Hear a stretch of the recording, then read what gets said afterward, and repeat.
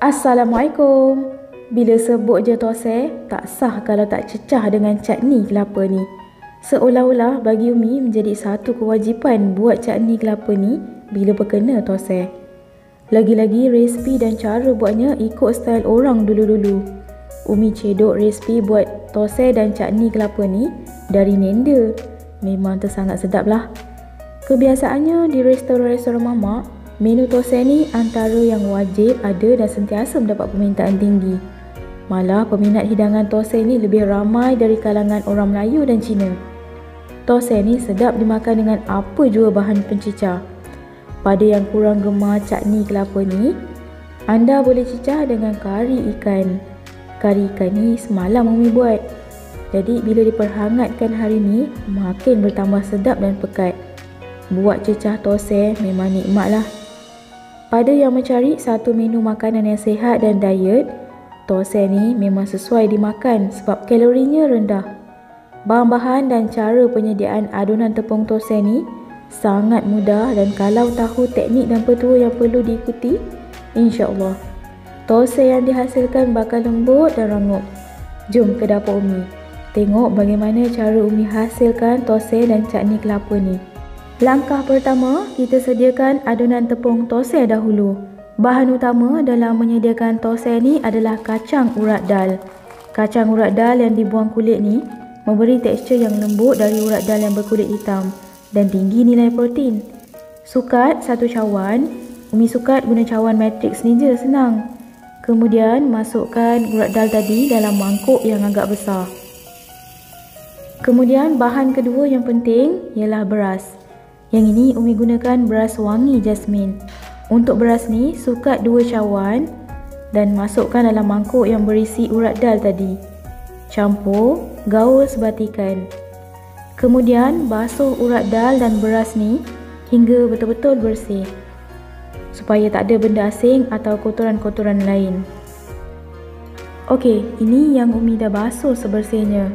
Umi ada masukkan juga setengah sudu kecil biji halba.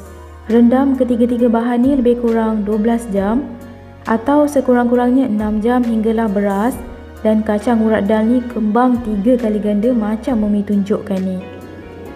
Kemudian waktu nak kisar, baru masukkan satu genggam nasi sejuk atau nasi semalam. Tujuannya untuk menggebukan tosek dan membantu dalam proses pemeraman. Proses pemeraman inilah yang menjadikan rasa tosek masam-masam gitu.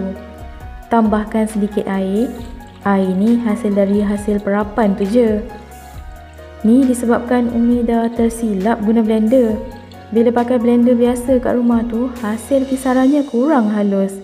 Jadi Umi transfer kisar dalam blender khas ni. Kisar hingga adunan tosai betul-betul lumat dan halus. Ini tips penting ya untuk hasilkan tosai yang gebu, lembut dan cantik kejadian lepas siap masak. Dah kisar halus, masukkan dalam satu periuk yang agak besar sebab kita akan peram semalaman. Waktu proses fermentasi itu, adunan tosai ni akan kembang dan naik dua kali ganda. Sebab itulah awal-awal lagi kita kena masukkan dalam periuk atau bekas yang besar dan tinggi supaya adunan tepung tu tak melimpah keesokan paginya. Adunan tosai ni jangan terlalu pekat dan terlalu cair. Kalau macam ni kira okey dah tu. Kemudian tabur sedikit garam di atas permukaan tepung dan terus tutup dengan tudung periuk. Jangan digaul-gaul lepas letak garam tu. Biarkan je. Tutup bagi rapat dan biarkan semalaman. Keesokan pagi tu, ha, tepung pun dah nampak gebu dan kembang gitu. Bolehlah mula buat tosai.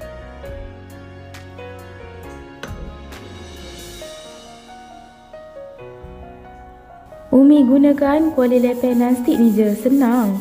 Sapu permukaan kuali dengan sedikit minyak masak atau minyak bijan. Kemudian cedok penuh adunan dengan senduk yang agak besar ni.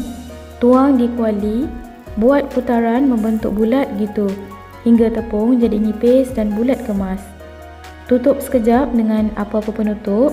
Dan api dapur tu biar sederhana kecil je. Sebab tosai ni cepat je masak dalam 2 ke 3 minit. Masak tosai ni tak perlu dibalik-balikkan ya. Cukup biarkan garing sedikit di bahagian bawah gini dan bolehlah lipat kepada dua gitu dan angkat. Ulang proses masak tosai ni, Umi buat sedikit je dulu sebab nak makan panas-panas. Tosai ni sedap perkena panas-panas. Kulit permukaan luarnya tu garing dan rangup. Dalam pun lembut je. Tujuan Umi tutupkan sekejap bagi memudahkan dan cepat je tosai ni siap masak.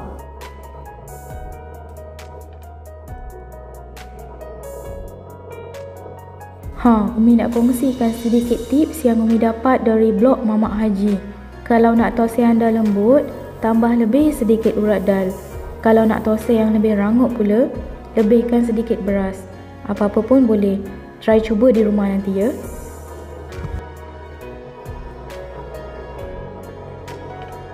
Kalau anda suka tosai yang lebih nipis dan garing, putar hingga dapat adunan yang lebih nipis. Kalau buat nipis-nipis ni, lagi cepat je siap. Dalam 1 ke 2 minit dah boleh angkat. Okey, siap dah tosai baik Umi.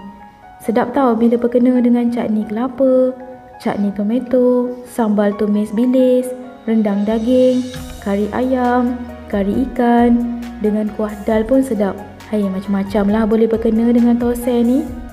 Sekarang ni, Umi nak tunjukkan resipi cara buat cakni kelapa pula sebagai pencicahnya.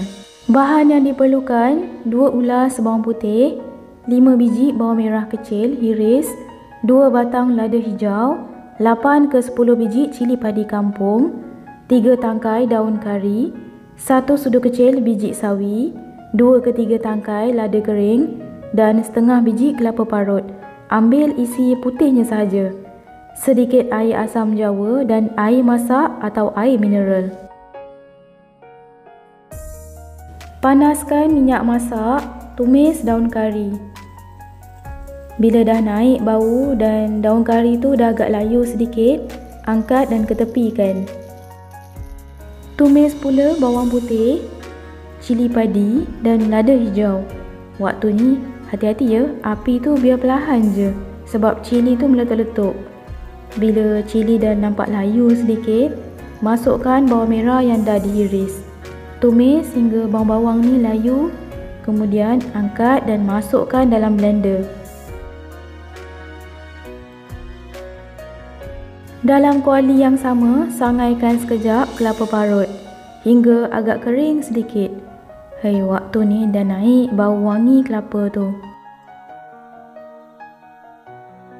Bila dah nampak kering gini, masukkan dalam blender yang Umi dah masukkan cili hijau dan bawang-bawang awal-awal tadi. Masukkan pula daun kari yang telah ditumis, air masak, asam jawa, garam secukup rasa dan kisar halus bahan-bahan ni. Air tu jangan banyak ya, agak-agak je. Supaya blender tu boleh dikisar dan memadai. Sebab nak dapatkan cakni kelapa yang pekat macam ni, baru sedap buat cecah dengan tosai. Kemudian panaskan sedikit je minyak, tumis biji sawi, 2 ke 3 helai daun kari dan lada kering. Tumis kejap je bahan-bahan tu. Dah nampak rangup gitu, angkat dan tuangkan bahan-bahan tumis ni ke atas kuah cakni kelapa tadi. Siap dah. Senang je kan buat cakni ni? Kalau suka pedas, boleh lebihkan cili padi kampung tu. Dah siap, bolehlah hidang tosai bersama cakni kelapa dan kari ikan. Ini kalau makan panas-panas tadi tu, eh memang rangup. Walaupun dah agak sejuk, tapi tetap lembut je tekstur tosai ni. Jom cuba. Banyak lagi resipi-resipi menarik di channel ni. Jadi jangan lupa subscribe, like, share, tekan lonceng pertama untuk dapatkan notification video-video terbaru dari Umi. Bye!